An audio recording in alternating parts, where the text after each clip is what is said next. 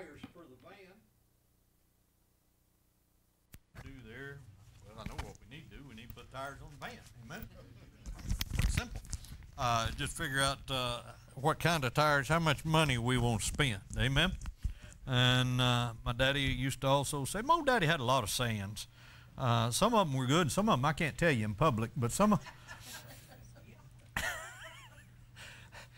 he used to say, it don't cost much more to go first class. And uh, so I used that a lot when I was selling siding jobs. And, you know, people talk about this or that. I'd say, ah, it don't cost much more to go first class. Well, boy, looked me dead eye one day, Lee, and he said, does if you fly American Airlines.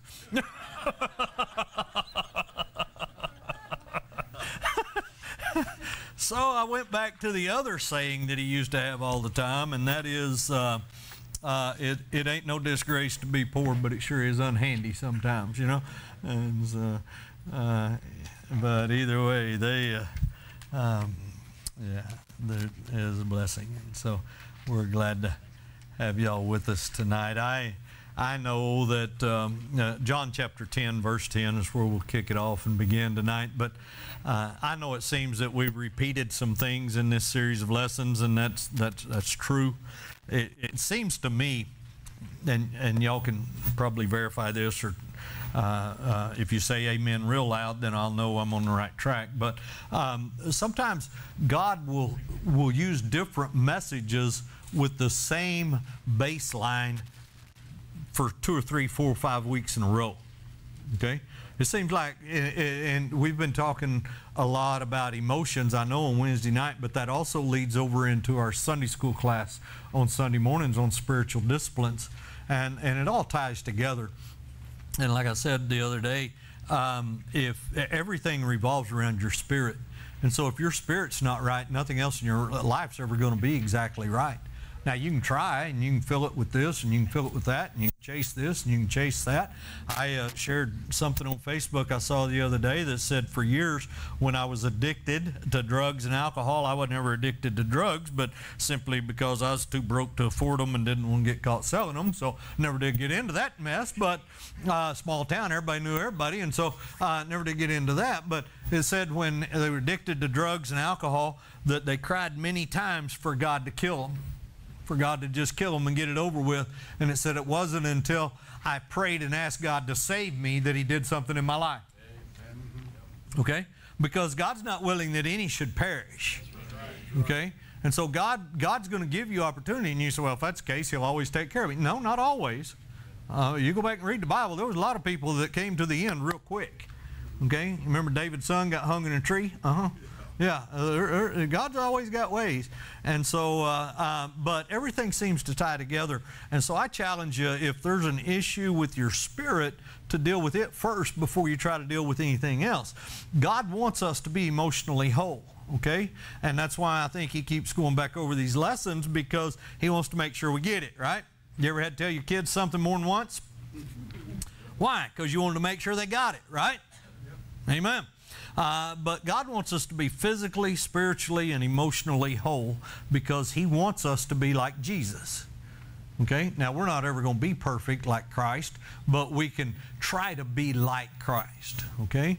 And, uh, uh, and so in the next few weeks, hmm, uh, probably going to kill our Wednesday night attendance here, but we're going to do it anyway. For the next few weeks, we're going to look at these things, okay? Anxiety, fear, guilt, anger, and rejection. Because one of those five is probably what messes up your emotions the most. Okay? My wife said today, Well, I don't have a problem with anger. I said, When you think of anger, you think of yelling, screaming, lashing out at someone, right? Well, yeah. Well, yeah, that kind of answered the question right there. But she said, Well, yeah. And I said, You can be angry and not lash out. Right? Yeah. Uh, and it's okay to be angry under control. It's when you get angry and give them the silent treatment. You just well to lashed out at them, right? Well, I didn't say anything. I don't know what they're mad about because your eye roll said it all. Okay? And I'm surprised that not every man in here said amen, other than the fact that you know where you stand, right? Yeah, Tom thought it. I'm really surprised Tom didn't say it. His wife isn't here. You know, yeah. Amen, brother. So,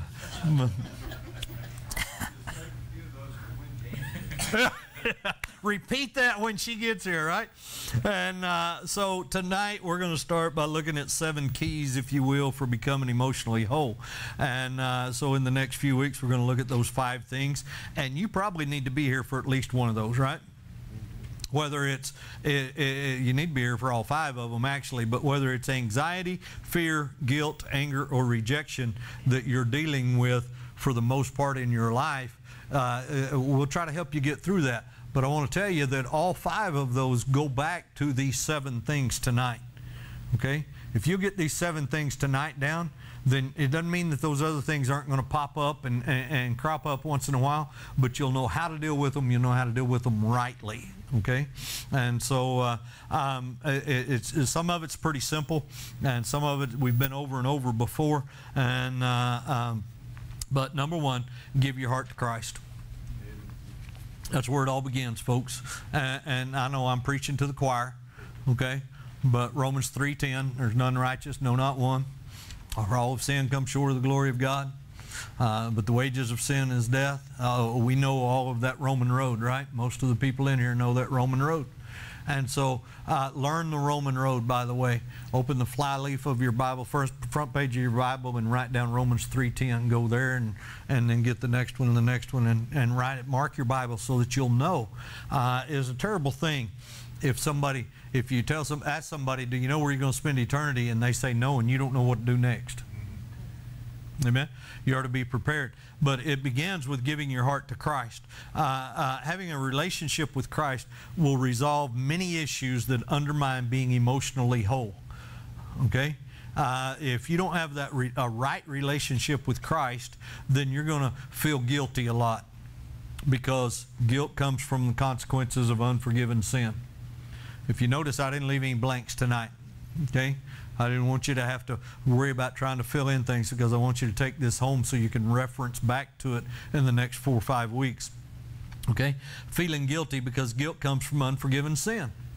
Because any, uh, uh let me back up. All bitterness is against who? It's against God. Well, no, I'm not bitter at God. I'm bitter at them because of the way they treated me. No, you're bitter at God because He didn't strike them dead. All bitterness is against God. And so you've got to deal with it in the spiritual realm before you can ever deal with it in the human realm. Okay? And so uh, feeling guilty, uh, it, it, will, it won't completely disappear, but you'll have a lot less of it once you get saved. Amen.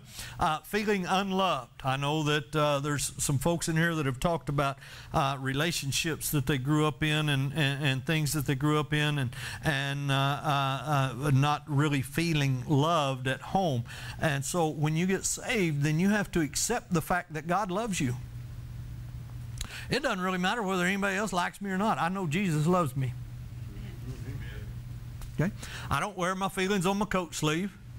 I, I try not to get too upset about things.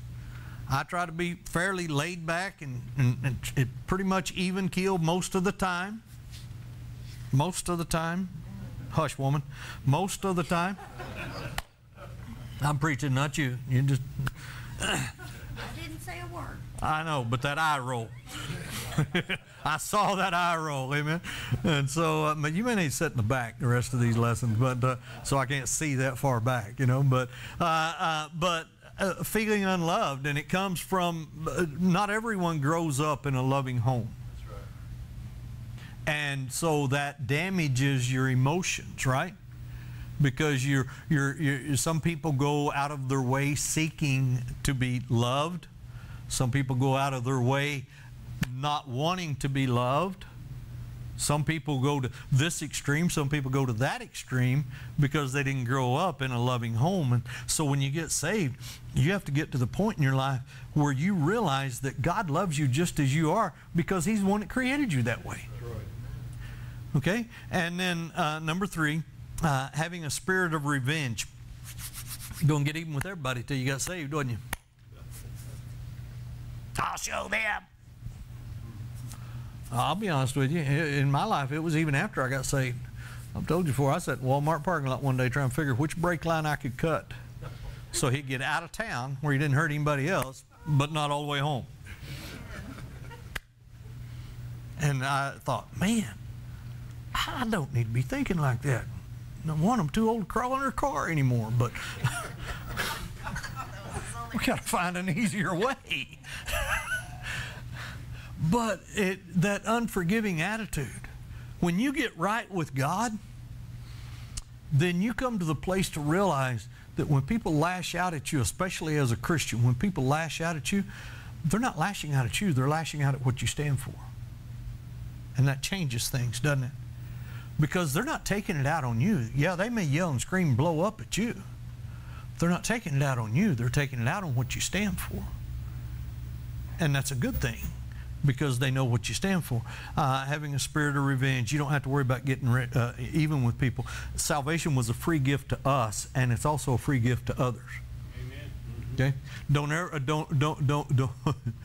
please don't ever let me hear you say, "Well, they they don't deserve to be saved," because neither did you or I. Amen. I had a guy tell me one time, "Well, I just don't think we want him in church. He's not really church material." I said, maybe we want him and not you. So having a spirit of revenge. Number four, trying to earn God's favor. Anybody ever been there? Keep pedaling that bicycle? Because if you ever quit pedaling that bicycle, you're to fall over, right? That's the way we, we, we were taught, especially in a, lot, in a lot of, if you've ever been in a legalistic church, you got to perform in order to be accepted, right? Performance-based acceptance. And if you don't perform right, then you're not accepted. If you don't dress right, walk right, talk right, spit the right color, you don't belong here. You need to go somewhere else. Well, okay, I need to go somewhere else. Guess what? I'm somewhere else. Okay? Uh, we all know the story of, of, me almost turning it down because I thought y'all were legalistic. And the reason you made the questions the way you did is because you didn't want somebody that was legalistic. And we about missed each other in crossing to try to keep legalism out of it. And so, uh, but we can't earn God's favor. God's love is uh, for us is based on what Christ did for us, not on what we can do. Amen. Because what is it Isaiah says? That all of our righteousness are as a filthy rag in the sight of God. You do the very best you can, and God says, I don't want it. It's just a filthy rag. And so give your heart to Christ, and when you do, those things will change. It may not happen overnight, but it will happen with time. I uh, made the comment tonight to someone, an OAA saying, we claim spiritual progress rather than spiritual perfection. Okay, I know I'm not everything God wants me to be, but on most days I'm trying to head in the right direction. Okay? When you get genuinely born again, those things will begin to lessen in your life to the point that people do something to you, you realize they're not lashing out at me, they're lashing out at God. Uh, the, you don't have to worry about trying to get even with everything. Uh, you don't have to feel guilty about things. Uh, uh it, it, you don't have to try to earn God's favor. And so, number two, uh, in, order to try to become emotionally whole and do things the way God wants you to do, you need to learn to read and study the scriptures because it's very important for us to know what God says about us, right? Someone want to read Galatians 3 26 and 27? Brother Bob? We are all children of God by faith in Christ Jesus. For as many of you as have been baptized into Christ, have put on Christ. Been baptized into Christ, you've put on Christ. You're the children of, Christ, uh, of God. We're an heir with Christ and a joint, uh, uh, heir of God, joint heir with Christ. And so, uh, 1 John 5, 1 and 2. Anybody want to read that? 1 John 5, 1 and 2. You need to understand that you are God's child. Brother Tom?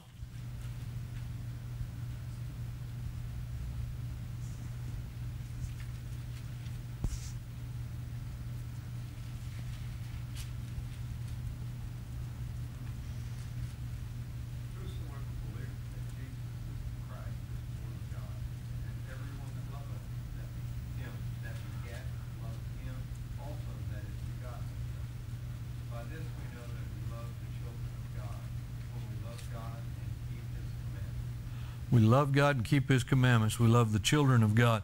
You need to remind yourself that you are a child of God. You are a child of God, and there's nothing you can ever do to break that. Amen. Not going to happen. And so, what does God say about you? God says that you're His child. God says that we're accepted completely by God. When you got saved, how many of you, when you got saved, God said, okay, well, I, I, I'm going to save you except for this one issue right here, and I can't deal with that. No. We were completely forgiven. Amen. Right? I mean, completely. Even the things that I wasn't ready to turn loose of, He forgave me for. Even the things I didn't think He knew about at the time. I was 32, young and dumb. I, even the things I didn't think He knew about, He still forgave me for because He knew about it. Amen. You know, there's a song, uh, uh, uh, Jesus, I don't want to open that door. I, I'm not ready to open that door. I don't want to go into that closet. I don't want to go into that private part of my life. But when you get saved, God opens all those doors. And boy, some of them are painful, aren't they? Some of them hurt. But we need to re- remember and realize that we're accepted completely by God. Amen. Okay? I don't have to, I mean, okay, let me, I started to say something that's not entirely true. I started to say, I don't have to please people around here, but you pay me. So, yes, I do have to please some people around here. Okay? As a pastor, as a born again child of God, my salvation is not based on any of y'all. Amen. Amen. Okay? I told somebody one day, I said, You think what you want because my road to heaven don't go through your yard. Right. I really don't care what you think. Okay? But God forgave us completely, and we're completely accepted by God, and we're an heir. Uh, Acts chapter 10, verse 34 and 35. Anyone want to read that? Brother Jerk. Verse 34, Then Peter opened his mouth and said, Of a truth I perceive that God is no respecter of persons, but in every nation he that feareth him and worketh righteousness is accepted with him. No respecter of persons. Boy, I like that verse. I like that truth. Because God doesn't think any more of you than he does me, and doesn't think any more of me than he does you. The ground is level at the foot of the cross. No big I, little you. No big me, little you. No big you, little me. The ground is level at the foot of the cross. We're all accepted completely by the Lord. Uh, Ephesians 1, verses 3 and 6. Anyone got Ephesians? Bob? I'm sorry, Curtis. God and Father of our Lord Jesus Christ, who hath blessed us with all spiritual blessings in heavenly places in Christ. Spiritual blessings and heavenly places. I'm sorry. Don't get To the praise of the glory of his grace, wherein he hath made us accepted in the beloved. accepted in the beloved. Accepted in the beloved. We're not accepted because of who we are. We're accepted because of what Christ did for us. Amen. Okay? And so then we're an heir through Jesus. Galatians 3:29. Curtis? And if you be Christ, then are ye Abraham's seed and heirs according to the promise. Heirs according to the promise. We're heirs according to the promise. The promise of God, not the promise of Harold Holt. Not the promise of Sara Road Baptist Church, but the promise of God. Amen. So uh, uh, Titus 3:7. Anybody got Titus 3:7, Tom?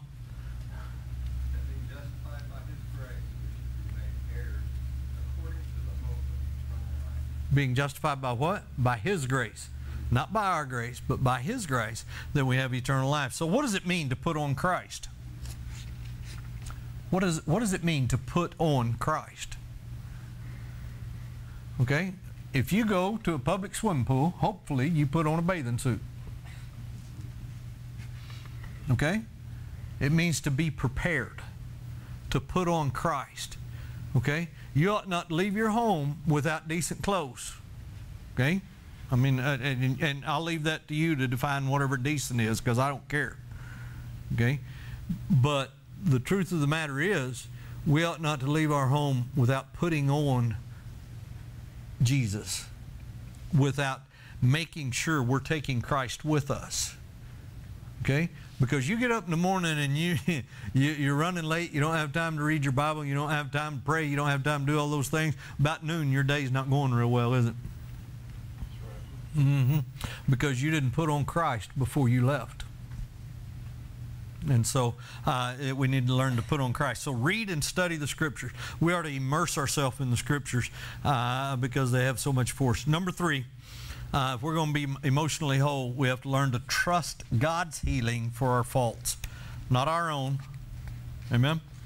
Any, uh, and, and you don't have to te- you don't have to say what. Uh, it can be chocolate. It can be cough drops. It can be Tic Tacs. Whatever it is. Anybody in here ever been addicted to anything that you'd acknowledge? I see some of y'all aren't raising your hands, but boy, you can't hardly wait to get that coffee pot when you get here. don't tell me you're not addicted. Okay? Yeah, don't tell me you're not addicted. I mean, I, that, was, that was some buckshot preaching right there. It hit everybody in this room. And some of y'all, it took a little while to, to, to realize it, right? But it got every one of you because those that aren't addicted to chocolate and donuts are addicted to coffee. And most of us kind of cross lines on that, except coffee's nasty. But, um, but here's the thing you ever tried to quit? You ever quit for a day or two and then go back? Because willpower is, is, is, is something else, isn't it?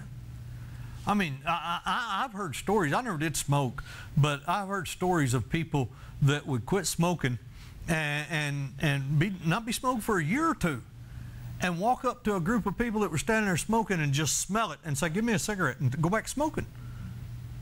Now, when I was chewing tobacco all the time, I had my brother-in-law's little brother was going to quit, and so we were working framing houses, and he was going to quit. And finally, about the third day, I said, Larry, either you're going to have to go back dipping, or I'm going to have to quit because I can't afford both of us. it just ain't working that way. Okay, but here's the thing: when you try to quit something in your own power, it's not going to work. It's not going to work in in the world of alcoholism, they have what they call a dry drunk. You know what that is?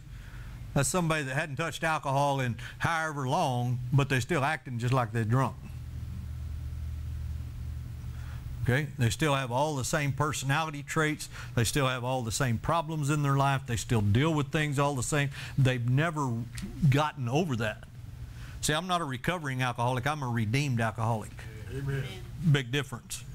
Okay, if I was just recovering, then the chance is I go back to it. But I'm redeemed, and so I don't have to worry about that.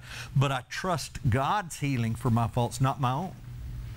Okay, whatever it is in your life that you're trying to overcome, if if you're trusting in your own uh, strength and your own abilities, sooner or later you're going to get wore down and give in. Right? Um, uh, so when you when you, when you're trying to overcome something, do you focus more on your faults and weaknesses or on your strengths? Okay, let me see if I can break that down and help you understand a little bit better. Uh, there's only, uh, I think, two people here tonight that were charter members of Sara Road Baptist Church. And so we'll give Mike and Gary a pass on that one. But uh, for the rest of us, the very first time you walked into this church, were you concerned about your strengths or your weaknesses? Weaknesses. weaknesses. Why is that? Because that's human nature. Uh huh. Because the devil knows he can mess us up with that, right? Okay? When I came, the very first Sunday I came, I was hesitant. But I sat in the parking lot and purposely worked on my strengths instead of my weaknesses. Okay? And I've told you before, we went through Sunday school and it was dry as a biscuit with no gravy. I don't, I don't mean that in a bad way. It was just life, okay? I got up to preach and I thought, Lord, you put me in the wrong place. But you know what one of my strengths is? Is getting people to smile. Okay? So you may have saw it as a weakness, but I knew what my strength was. My strength was to get people involved. Okay? And so I worried more about my strength. Now, I haven't always done that. Okay? There's some Sunday mornings when I come through that door right there and I've got my weaknesses on my mind more than I do my strengths. And so it's a reoccurring thing you have to keep working on. But when we trust God's healing for our faults, we'll focus more on our strengths than we do on our weaknesses. Okay? I'll pick on Gina for a minute. She rededicated her life to the Lord at our revival. And so, when the first time she walked through this door, it should have been more about strengths than weaknesses. But that's not human nature, is it? The first time you walked through this door, it was more about weaknesses than it was strengths. Because what are people going to think? We are moving things around, in case you haven't noticed. The foyer back here where the coffee room is has became too small. In case y'all didn't know that. Wasn't tonight, wasn't bad tonight. But on Sunday morning, you have six or eight people come in and sit down and nobody else can get through. And because it's small, the people on this side are talking to people on this side, so everybody's hesitant to break up a conversation. And so we have people standing at this door, line backed up here, people standing at the other door that are trying to get back and forth. I mean, I, if I get caught in here and I find out Brother Lee went in that middle door and there, or back door back there and there's donuts back there, I'm going to bust up your conversation because I'm going to the kitchen. okay? So what have we done as a result of that? This is part of, of growth consequences, okay? I, if you'll notice back there in the fellowship hall, instead of taking all those tables down, I set uh, two tables long and two tables wide in three different sections, okay? And so here's what we're going to do. We're going to enjoy things for a while. I was going to have Jan make some signs today, and I didn't get around to it. We're going to make a sign and put on that first table up there that says Bible, okay? So if you want to sit down and discuss the Bible, you can sit down at those tables. Okay? And then this other table over here, we're going to put a sign on it that says health. And so if you want to sit down and talk about how bad your health is, you can sit at that table over there. and then at the back table, way back there by the nursery, we're going to put one that says politics.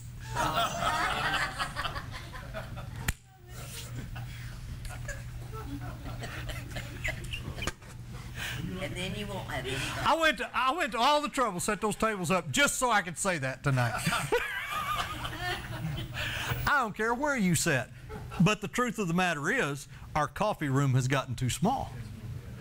And so we're going to get a plug-in put in, and we're going to rotate that, co- uh, that, uh, that coffee counter around to the other side there from the men's restroom going that way. Besides that, it's always bothered me to have men up there pouring them a cup of coffee and a lady open the door of the restroom coming out or going in, either one. That's kind of uh, a bad thing. And so we're going to put it over there on the other side by the kitchen uh, counter going that way and move everybody out of that little bitty room where it's only six or eight into a fellowship hall where we can have 10 or 20. Okay? W- Our goal is to grow, right? Our goal is to grow people, right? And so we want to make that just a pass through, okay? So when you come in Sunday and there's no chairs in there, don't bite my head off. You knew it was coming, okay? Uh, uh, make it just a pass through and just pass right on through and go in the fellowship hall and sit down. And so actually the table that I said politics, I set that up in case um, Katie and them want to use it for children's church instead of being in the nursery, and so it's not really for politics. Don't go back here and discuss that. That causes church splits. So, um, but anyway, uh, we're accepted completely by God. We're an heir uh, through Christ. I'm on the wrong point. We need to trust God's healing for our faults and focus more on our strengths than we do our weaknesses. Okay, get this. God has a plan for every detail of your life. If God created you tall, He created you tall for a, for a reason. Okay? You're not tall because your mama gave you Gerber baby food. Okay? You're not short because she didn't have enough milk at home. Okay? You are what you are because God created you. Okay? You can't. The Bible says we can't add add one one one one bit to our stature. Okay, and so tall, short, fat, skinny, whatever. God made you so that He can use every detail of your life. Okay. Um, by the way, they say fat people are harder to kidnap, so I'm working on it. Okay, and so uh, I'm, I'm going to try to get there. But uh, uh, I didn't hear what you said. He said he's safe. Is that what he said? yeah, I'm safe. Don't have to worry about that one. Ain't nobody gonna throw me in the back of a van. yeah. yeah, and so, but he he created you the way that you are, so that he could use every detail of your life. Okay, you were created with God given talents. And so focus on those strengths instead of those weaknesses. And when you're having an issue with something, trust God's healing for our faults because we all mess up, right? There's some things we can change, but there's some things we can't. So if God points out a character trait that's displeasing to Him, not someone else, but displeasing to Him in our lives, we need to work on that, right? How do we work on that? Real simple. Number one, we have to identify it. First part of fixing any problem is acknowledging there is a problem. Amen. Amen? You have to identify it. Then you have to ask Him to forgive you for letting it develop in your life. Because if it's something that's displeasing to God, you allowed it to develop. God didn't give that to you. You allowed it to develop. And so we have to ask Him for forgiveness for allowing that to develop. And then, number three, ask Him to heal us from it because we want to be whole. We want to be complete. We, we, we want to be the best that we can be. 1 Thessalonians 5 23 and 24. You want to have that? Brother Bob's got it? Or oh, Roger's got it? All right, Roger. And the very God of peace sanctify you wholly. And I pray, God, your whole spirit and soul and body be preserved blameless unto the coming of our Lord Jesus Christ. Faithful is he that calleth you, who also will do it. Faithful is he that calleth you, who also will do it. the will of God will never take you where the grace of God cannot keep you. And uh, uh, the very God of peace sanctify you wholly in your whole spirit and soul. God wants us to be complete. God wants us to be the person He created us to be. The problem is sin came along, right? And so uh, we're not done. We still have a back page, so don't don't think you're going home yet. All right. We have seven. We're only on three. We're going to have to hurry. All right, number four. Not that anyone in here has ever done that, but stop bartering with God. And so I don't barter with God. Oh Lord, if you get me out of this, I'll never do it again. Oh Lord, if you don't, uh, oh don't let him give me a speeding ticket. I promise I'll drive under the speed limit, at least for the next mile. We got to stop coming back to Malthus one night after a basketball game. Howard Truman walked up there and he said, You seem to be in a little bit of a hurry, Mr. Holt. And I said, Well, I probably am. I was just frustrated. He said, Really? And I said, Yeah, we just got beat in a basketball game and I just got frustrated and wasn't, probably wasn't paying attention to what I was doing. He said, Well, you probably need to slow down a little bit. If you promise me you'll slow down, well, you can just go on. I won't even write you a warning. I said, Okay. We got about a mile down the road and Jamie looks at me and says, I thought you told him you'd slow down. I did that first mile. What do you expect? I mean, but but don't we try to do the same thing with God sometimes? But the truth is, God accepts us, but sometimes we have a hard time accepting His love. Especially if you came from a family where love wasn't expressed. You came from a, a, a because not everyone's raised in a loving home. You came from a family where there was a lot of give and take or a lot of buy and sell. Okay, uh, you go you you go do this and I'll let you do this or you do this and you can do this, or you uh, conditions on everything. And and I got to admit to you, there was a point in my life when I was that way. It goes along with that legalism a lot. But we have to stop bartering with God. Okay, we're not going to influence God. We can't barter our way around God's will either. I preached Sunday on the call. When God calls you, God's got a call on your life, and God's not going to relinquish that call from you. You can run from it, you can hide it, you can try to get away from it, but He's not going to relinquish that. And so, a lot of times people say, "Well, God, I'd surrender to be a missionary, but I don't want to go to a foreign country." Then you don't really want to surrender, do you? Had someone messaged me last night. Well, uh, I guess it was last night. I saw it about six o'clock this morning. Said, "How old do you have to be? A, oh, how old do you have to be to be a missionary?" Anybody want to guess? How old do you have to be to be a missionary? I said, old enough to talk. that does help a little bit. Amen? Because Jesus said, out of the mouth of babes, right? So, whatever age. Now, you may have to be 18 to get into another country and get a visa and all that kind of stuff. I understand that part of it. But uh, I, I, I said, old enough to talk. I said, well, I guess I'm, I'm there. Oh, well, yeah, okay, start telling people about Jesus. Because here's the thing if you won't be a missionary where you're at, don't expect to be a missionary somewhere else. Doesn't work that way. Uh, but but don't barter. Don't try to barter your way out of God's will. Just trust Him. If He calls you to do something, it's because He knows what's best for you. Matthew 6, 31 through 33. Brother Gerald? Therefore, no thought, take no thought, saying, What shall we eat, or what shall we drink, or wherewithal shall we be clothed? For after all these things do the Gentiles seek. For your heavenly Father knoweth that you have need of all these things. But seek ye first the kingdom of God and his righteousness, and all these things shall be added unto you. Stop bartering with God. He wants what's best for you, but He wants you to seek Him first to get it. Okay? He knows what we need, right? You said, Boy, that came through just in time. Well, you know why? Because God knew exactly the time you were going to need it. Okay? And so uh, stop trying to barter with God. Number five, when you're going through emotional problems, you're trying to deal with emotions, turn outward.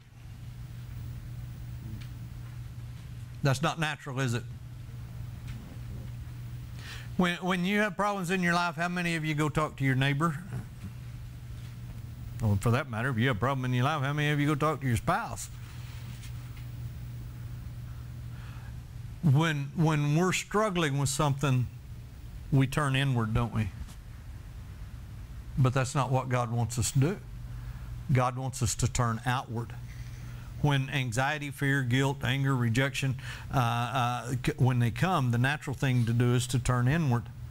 But what we need to do is turn outward because God's put somebody in your path to be a witness to. Okay? You say, well, I just don't like talking to people. A smile goes a long way. Amen? Just a simple smile goes a long way. Just a simple head nod, how are you? Goes a long way. Uh, and, and so turn outward because everyone has something to give. And we need to learn to give without expecting anything in return. Okay? Just because just because you give somebody something, don't expect them to reciprocate it. Well, I asked them how their day was, and they didn't even pay attention to me. They didn't even acknowledge me. Okay, maybe they had a lot more going on than what you thought. Okay? It's all right. Rejection's going to come. Rejection's going to come, but they didn't reject you. They reject what you stand for. Well, they don't know what I stood for. They must have rejected me. No, no, no, no, no. You were looking for something in return. Just give. Freely, uh, uh, uh, Matthew 10 8, freely you have received, freely give. Right? God didn't charge you anything to give you a smile. Why you won't charge somebody else to give them one? And so turn outward. And I know that's hard to do. Number six, stop dwelling on past failures. Once we ask God to forgive us, we have no more claim to it. Why we won't go back and dig it up? Why we won't go back and rehash it? Why we won't go back? Oh, I need to go back and make that right. No, you don't. You ask God to forgive you for it, God will make it right. Okay? I- here's what I challenge people. if, if something's taking place in your life and you need to make something right, you need to ask for forgiveness, you need to make an apology, you need to do whatever, sit down and write them a letter. Because when you write out a letter, you write out your thoughts. And you can erase them and go back and reword it. You can take part of it out. You can say, well, that wasn't all I wanted to tell them. You can add something to it. But if you call them, your emotions are going to come into play and you're going to say something that you wish you hadn't said. And words once spoken are like eggs once broken. You can't put them back in the shell. And so sit down and write them a letter. And after you write them that letter and you read over it two or three times, make sure it's just what you think it ought to be, then you pray about whether or not God wants you to send it to them or burn it. And what you'll find most of the time is He'll tell you to burn it. Because it's not about them. It's about our spirit, or about our relationship with God. And a lot of times when we get down to where the rubber meets the road, we find out that that problem was really because of us, not because of them, right? And that makes it a little more difficult. But stop dwelling on past failures. God's forgiven you for it. Move on. Uh, when others try to bring up your past, remind them that it's forgiven and it's forgotten. And turn to the positive things in life. Look for the positive things in life. Psalm 97:10. Anyone? Brother Tom? He that loves the Lord hate evil. He preserves the soul to the saints. He delivereth them out of the hand of the wicked. Deliver you out of the hand of the wicked. He that loveth the Lord hate evil. Do you really hate evil or you just kind of shoulder up to it once in a while? Born again child of God are to hate, are to hate evil. Okay? Don't live in the past. That's why it's the past. You know why the, the, the back window on a car is usually only about half the size of the front window on a car? Because the direction you're headed is more important than the direction you've been. I'll tell you one of the greatest lessons I ever learned in my life. I learned off of a movie that wasn't too great called Cannonball Run. You ever see that movie? Yeah, see, I'm in better company now. Other people have seen it too, so I can go ahead and talk about it. No, on Cannonball Run, it's a race across America. And uh, the guy gets into this car and he, he reaches up and he grabs hold of the rearview mirror and he rips it off and throws it out the window. And the other guy in the car that was his co pilot looked at him and said, What did you do that for? And he said, Because what's behind me is not important. If you're going to win the race, what's behind you is not important. What is it Hebrews says? Let us run with patience the race that is set before us. It's a race. What's behind us isn't important, all right? And so then, number seven, and we'll be done.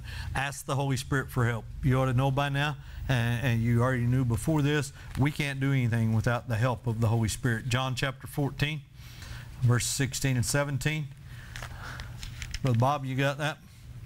And I will pray the Father, and he shall give you another comforter, that he may abide with you forever. Even the Spirit of truth, whom the world cannot receive, because it seeth him not, neither knoweth him. But ye know him, for he dwelleth with you, and shall be in you. The Spirit of truth, whom the world cannot receive. He said, I'll give you another comforter, and that's why Jesus had to leave, was to give us another comforter. The ministry of the Holy Spirit, part of that ministry is to guide us, to give us guidance, and to help us make wise decisions. And so ask Him to guard you from evil. Before you start your day, before you ever leave the house, you need to pray and ask the Holy Spirit to guard you from evil. Okay? When folks get saved, I'll, I, I generally always try to say, Lord, I pray you put a hedge of protection about them. Okay? Because they need guarded from that evil that's out there. And so ask Him to guard you from evil. Give Him charge over your daily life.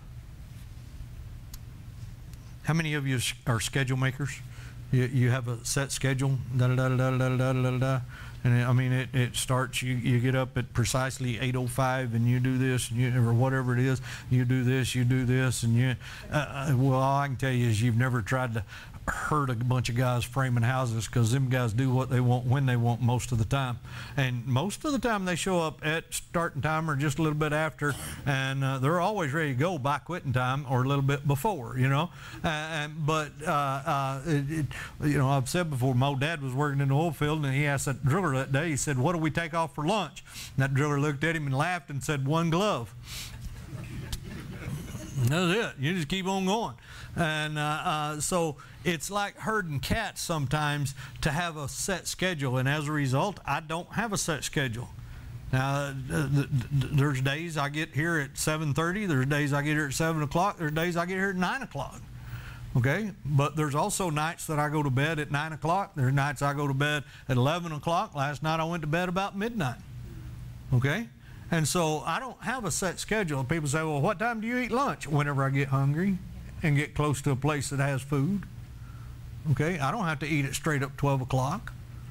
Okay? I don't have that schedule, and I'm not saying that's a good thing, but what I am saying is we schedule everything else in our life to a degree, but we don't ever let God have charge of anything.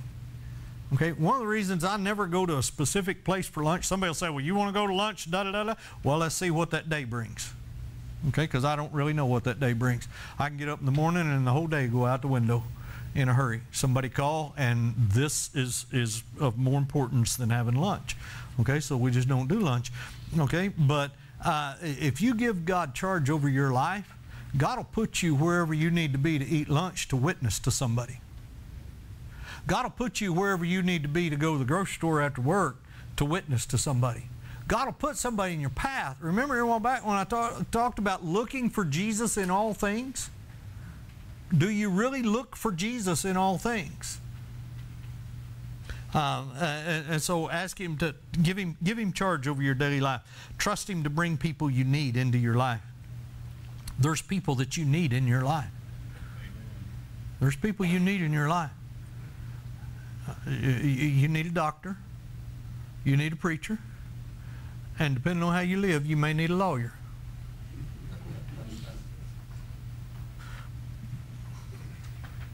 You know, even Jesus didn't have anything to do with lawyers, right? And so, anyway, um, yeah, I'm just kidding. I forget sometimes people are lawyers. And so, uh, anyway, uh, so why is the Holy Spirit referred to as the Spirit of truth?